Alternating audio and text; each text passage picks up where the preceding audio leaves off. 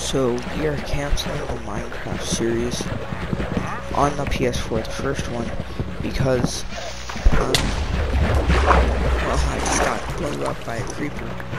But um,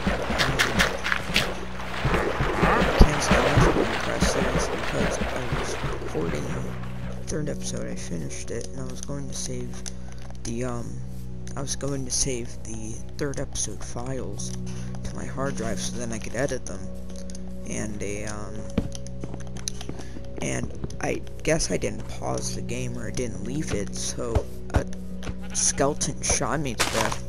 And I didn't come back in, in time to um, get the items get the items. And so this was pretty much doomed. I mean I can't really do anything much with it I tried to do another series uh, today or tomorrow